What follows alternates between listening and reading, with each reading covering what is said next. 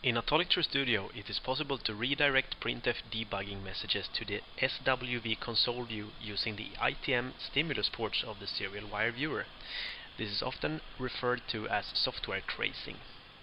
This will work on almost all Cortex M3 M4 devices in combinations with this SWD capable debug probe, such as the ST-Link version 2 or the SEGGER J-Link. The user must first enable serial wire viewer tracing in the debug configuration.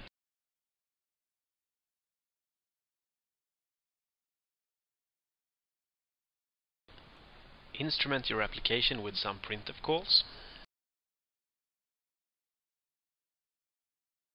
Generate the system calls stub file called syscalls.c.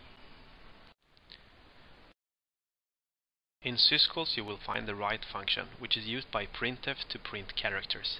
We will instrument the write function to put each character on the ITM port 0 using the ITM sendchar function. The device peripheral access layer header file must be included in order to use the ITM sendchar function. In this case stm32f4xx.h. Rebuild the project and launch a debug session. Open the serial wire viewer settings dialog box Enable ITM port 0 so that printf messages are allowed to pass on this channel.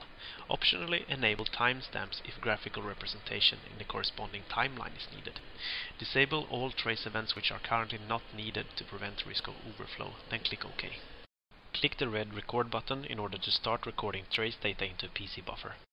Now resume the execution of the application and printf debug messages will be printed on the serial wire viewer console.